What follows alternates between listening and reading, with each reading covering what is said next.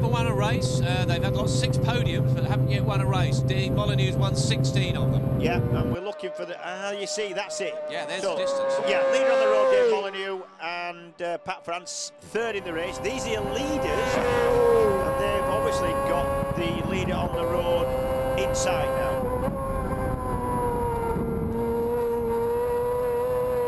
You could just feel that when he oh, snuck it into six gear there, it strained a lot. Yep, the passenger has to keep down out the wind, but he's also going to stop the thing from tipping up, so moving around the whole time. Now then, Dave Molyneux, Pat Farrance into Governor's Dip. We'll get another split down here to see exactly what is going on, see if Molyneux's made any time up.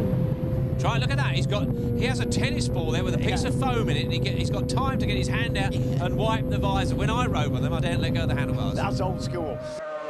Well, as Molyneux goes through, we look at the times, and he is in second place. He's caught the Birchall Boys lead from Molyneux, Holden in third, and Conrad Harrison in fourth. Yeah, we thought that Dave Molyneux had had a good run over the mountain. Sure enough, he has. These are leaders up, down Bray Hill, absolutely flat on these Formula 2 outfits. Flat out, in six, never lift your head. Doesn't bear thinking about.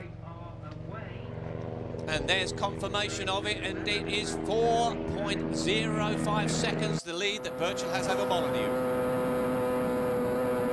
Go. That's oh, tight getting through there. This is down into Greeba. It is, but it's a fast bike, it's a Birchall's bike, I've got to say. Ollie will be scratching his head about this, won't he? He will. Ollie on the Kawasaki, the Birchall boys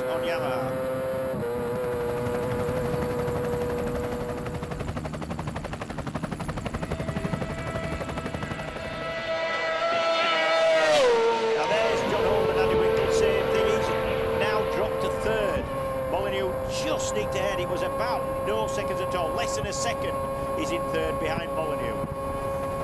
Now then, into the Glen Helen section. Pretty dark under the tree, Steve. Molyneux's got to pull away if he wants to win this race now, hasn't yeah. he? Yeah, and the Birchalls likewise know that they've got to stick with Molyneux if they want to win the race.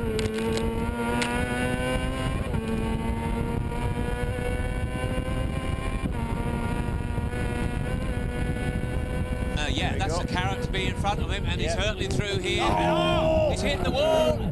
Oh. oh, it's a big, big accident there. The Birchall boys, that's going to virtually block the track. Well, it is, isn't it? It's right on the road, the outfit. Ah, here comes John Holt and Andy Wilkins. There's the yellow flags. Yeah. Let's have a look, knock it off.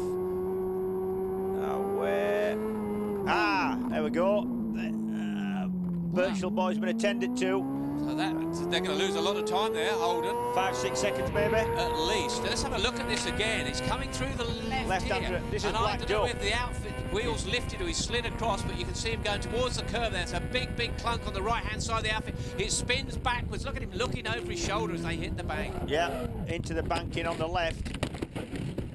That yeah. is a massive accident. Anyway, back out in front, well, on the road now. Molyneux, who was on the road, leading on the road, is still. This has gone on.